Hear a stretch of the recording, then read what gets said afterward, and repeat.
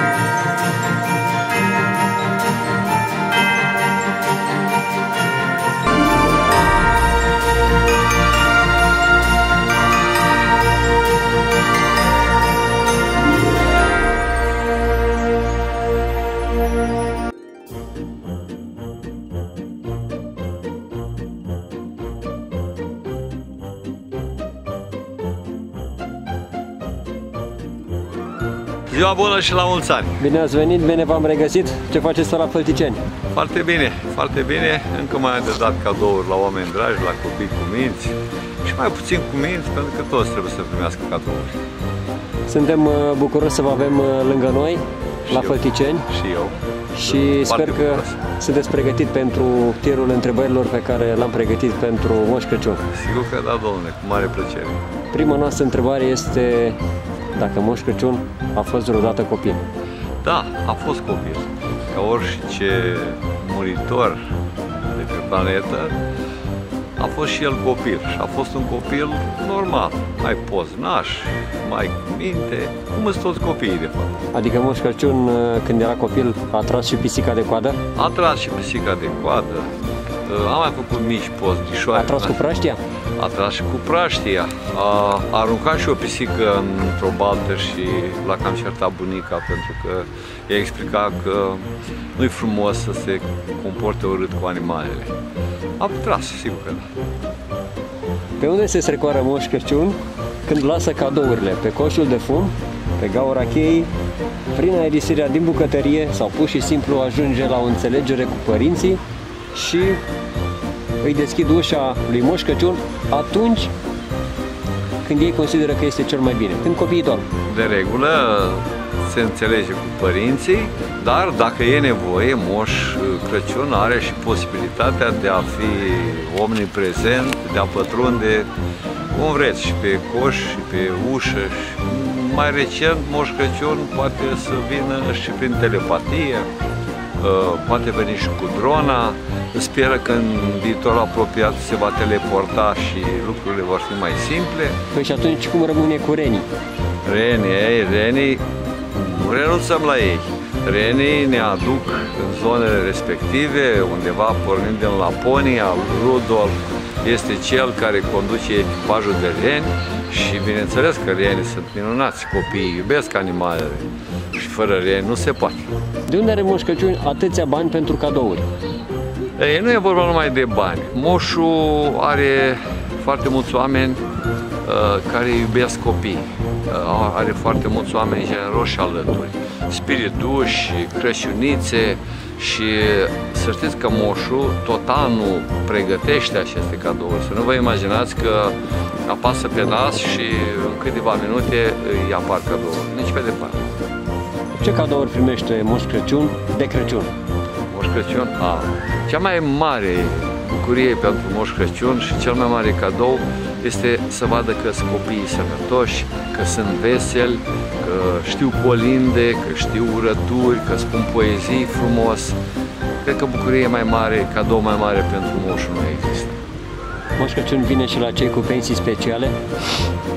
Moș Crăciun vine la toți oamenii și la cei cu pensii speciale, dar nu cu cadouri, ci cu urarea de sănătate, de omenie uh, și să se gândească uh, să dea din cât au, din mult mai mult decât merită poate, să dea și la cei sărmani. Moș Crăciun iese la pensie vreodată?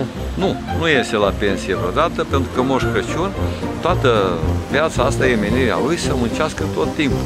În Nu, folosul copiilor. în folosul copiilor și nu numai, a tuturor oamenilor buni.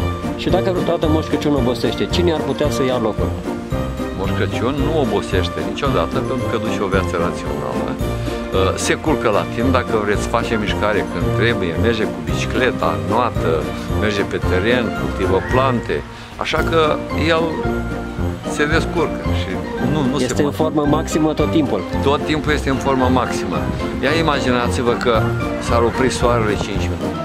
Moș Crăciun respectă ritmul Universului, al lui Dumnezeu. Uh, Îngerul din el și îngerul din oameni trebuie respectat și trebuie să avem o viață normală. Asta asta înseamnă că Moș Crăciun niciodată nu va lipsi. Niciodată nu va lipsi. Pentru că nu se poate fără Moș Crăciun. Încearcă unii, eu știu, cu globalizarea asta, niște domni de pe Uniunea Europeană, uh, să spună că acest eveniment, nu știu cum, e desuiet, poate că ar trebui să schimbăm, nu se poate. Noi trebuie, noi românii mai ales, trebuie să ne păstrăm tradiția, trebuie să ne păstrăm obiceiurile și în mod sigur uh, vom avea Crăciunul o veșnicie. Ce face Moș Crăciun în timpul liber? Atunci când uh, nu este iarnă, când e primăvară, vară, toamnă. Ei, chiar am spus anticipat. Păi când e primăvară, Moș Crăciun uh, îngrijește livada, uh, Moș Crăciun uh, are grijă de animale pe lângă casă, eu știu, merge și plantează legume, zarzavaturi, de toate. Încearcă să-și le producă singur, să nu meargă la supermarketuri să iei produse din astea, știți din astea cum sunt, cu multe euri repet, merge cu bicicleta, merge pe jos când este nevoie și chiar aș ruga toată lumea să mai renunțe la mașini și la comoditatea aceasta, uitați-vă, planeta e în pericol, merge și în noată, nu se poate. Trebuie o mișcare, e un perpetuum mobil. Și fără asta nu se poate. Cred că v-ați dat seama că stăm de vorbă cu un moș Crăciun autentic, are barba autentică, după cum bine se vede, are și puțină burtă, nu foarte mare, Atât Are trebuie. și zâmbetul pe chip, Sigur practic da. nu lipsește nimic lui Moș Crăciun. Nu. Nu. De ce să lipsească? Atâta timp cât sunt sănătos și am de-a face cu oameni normali, este o mare bucurie. Dar foarte sincer vă întreb, Moș Crăciun se enervează vreodată? Moș Crăciun nu are voie să se enerveze.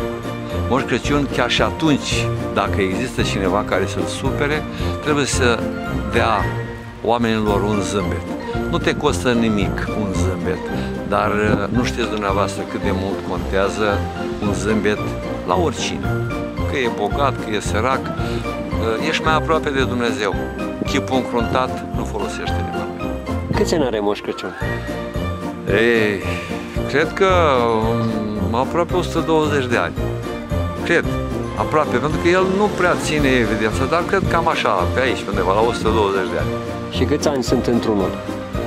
Ei, ca vreți să știți exact, nu? Da. Ei, hai să zicem 2 ani în 1, 2, mai puțin de 2 ani, aproape 2 ani. Adică Moș Crăciun are vreo 200 de ani. da, poate fi luată și așa, dacă luăm invers, poate să fie la jumătate.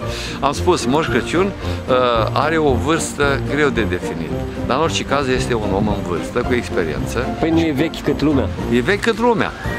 Și care e problema? Atunci vârsta e doar un număr.